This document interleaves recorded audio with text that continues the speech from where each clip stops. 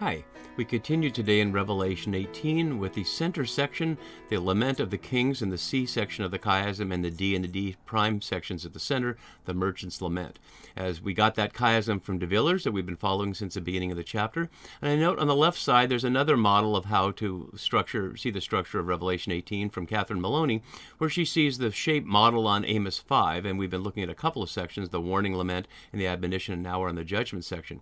As we saw last time, it also can be seen as parallel um, structured on Isaiah 47 and Jeremiah 50, highlighting how John is showing that what his audience in the, in the Roman province of Asia in the late first century is experiencing is similar or very similar, same as what the ancestors experienced in the time of exile or under their own oppressive leaders in Jerusalem. And we, from our perspective, can see continues throughout history from uh, after Rome into our time now. And we'll see that in detail as this section really highlights the link that I've been trying to highlight throughout this whole section that this is not about violence against women or about women at all, but about exploitive imperial cities uh, that gain wealth through commerce for the, at the benefit of the few at the expense of the many.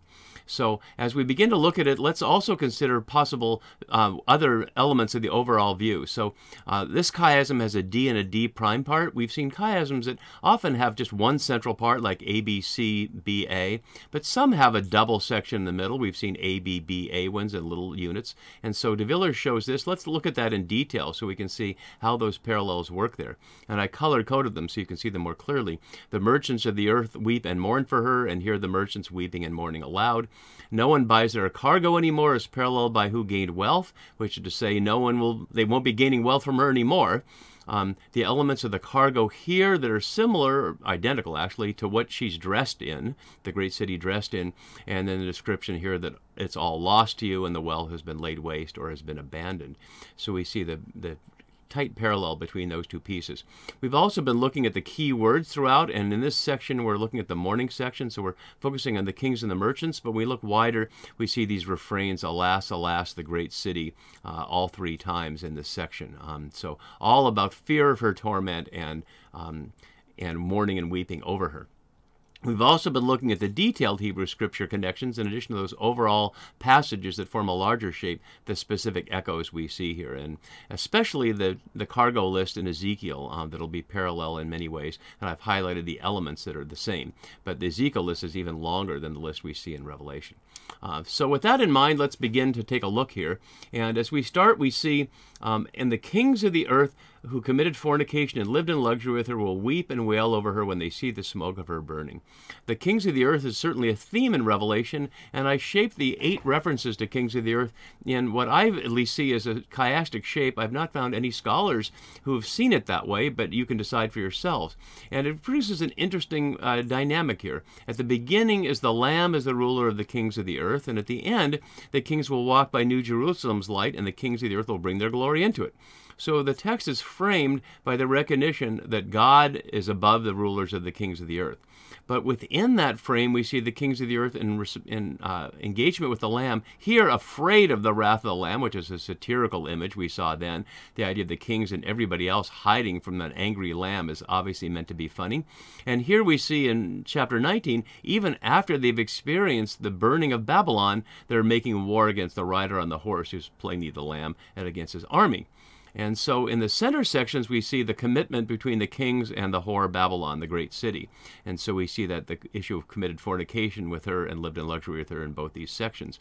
And this middle section here, although it's 17, 18, and 18.3b, really forms one consistent sentence at the middle with the repetition of kings of the earth this way The woman you saw is the great city that rules over the kings of the earth who have committed fornication with her. So that's the key here is to get them, along with uh, God's people that we saw last time, to stop committing fornication with her. And unlike Babylon itself or the dragon or the beast, which are all destroyed, the kings of the earth are called to be redeemed. Uh, echoing Isaiah 60 here. So they're not called to be destroyed. They're they're regathered into uh, the right place to be subject to God. So that's the hopeful framework for these kings. Even though they will, we will see them making war on the Lamb and against His army there. And they're described as weeping and wailing. Um, the idea of kings weeping, of course, that would be uh, feminizing for them and the gender stereotypes of the time. It would be a real insult, a real weakness for them to be uh, weeping. When King David weeps over his lost son, uh, Absalom, his uh, chief of staff Joab tells him to shape up so he doesn't lose the, the allegiance of the people in the face of that. Uh, they will weep and wail, unlike the others who will weep and mourn. Down here, they will weep and wail. The word for wail, kopto, here literally means to cut off or to strike, but metaphorically is to wail only one other time. The idea of these kings weeping and wailing is to see them as if something has died. And of course, something has died, not someone has died, and that's the great city Babylon when they see the smoke of her burning here, which again in our uh, Hebrew scripture echoes, plainly echoes uh, uh, Abraham seeing the smoke of the burning of Babel, of, uh, sorry, of Sodom here in Genesis 19. And that parallel is made already by Isaiah in Isaiah 13 that Babylon will be like Sodom and Gomorrah when God overthrew them. So it's not just me making that connection. That connection was already made with Isaiah, and John brings it forward here so that we can hear that, that whether it's Rome, you know, in the metaphorical use of Babylon here, or of Babylon or Sodom, whatever it is, this burning city um, is an expression of God's judgment on their injustice and they will not participate here. They're not going to support Babylon. They're not defending Babylon. They, like the merchants and the ship owners and the seafarers, will stand far off in fear of their torment. So, again, characterized as not kingly at all. They're feminized and they're weeping and wailing and they're afraid. Um, hardly um, the model of kings that anybody would like. And they say an interesting thing here that's translated alas, but it's really woe, ouai, that we saw earlier. And that's the refrain that we just saw all three groups say, alas, alas, the great city. Woe, woe. And that's echoing what, what I was arguing back here in chapter 8 was the three woes, translated as woes there, represent the fall of the great city three times. Twice as Jerusalem, the historical fall of Jerusalem to Babylon in the 6th century BCE and to Rome in the 1st century CE, and the metaphorical fall of Babylon or Rome here in the story. And that's what they're paralleling here. The fall of Babylon gets the woe. So, uh, contrary to what scholars otherwise saw as, as different meanings of the woes back there, this reinforces it here. Notice that Babylon is framed here by great city and mighty city or strong city. We've seen Iskra a couple times here. We saw it in verse three for um, for the strong verse one. I'm sorry for the strong angel at the beginning of the chapter. So these images of great city, strong city, but in one hour it's all coming down. And the one hour, uh, we recall here from 1712, we saw authority, uh, kings received authority for one hour, but now we see this trinity of one hours in our section here. In one hour, your judgment has come. In one hour, all this wealth has been laid waste or has been abandoned or made a desert. And in one hour, she, the city itself, has been laid waste. So um, all of this happening suddenly, despite all the buildup, um, that it all comes crashing down. And then we focus on the merchants. So let me scroll down here a little bit so we can see more of the merchants and the cargo here. So to focus on the merchants, we have to understand something of the cultural context of how Romans saw merchants. And we can start no better here than this quote from Cicero's On Duties, where he says this. Another disreputable class includes those who buy lots from wholesalers to retail immediately. They would not make a profit unless they indulge in misrepresentation, and nothing is more criminal than fraud. Commerce should be considered vulgar if it is a rather small affair. If it is extensive and well financed, importing many products from all over the world and distributing them to many customers honestly, one should not criticize it severely. In fact, it even seems to deserve the highest respect if a merchant retires from the quayside to his farmhouse and estates. Of all pursuits by which men gain their livelihood, none is better than agriculture.